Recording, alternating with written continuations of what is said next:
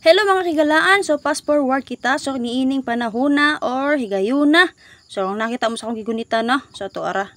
Nakoy nakita ang lain to to ara. Napadyo ko nakita nung lain, naglokdo-lokdo in tawon. So ingana yung makakaguyan ang mga kasilinganan diring dapitan. So shoutout sa inyong tanan. Mayong mayong ah, adlaw din na sa itong mga mangulingay din ha no. So din na pumitiplitan og uling sa ilaha. So ani pa lang ako ang doy-doy. Agoy nga akong doy-doy ka cute. Naglakaw-lakaw in taon nga akong doy-doy. Nga pinangayo ra in taon na siya. So to ara nanganganga pa. So di ara na kita, so magluto na kita. So mga rin tao na ako ang napupo diri sa ato ang katugkaran. So mga rin tao na siya no. So di ara. Ah, umora niya to madali diri sa kabukiran. So nakoy tanga din na ha. Syempre mo na subak na to. So di ara.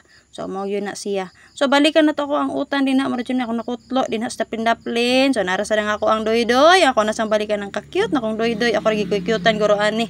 So bahala na mo din ha. Basta ka-cute nga na para sa kuha. So nahigda-higda ra siya.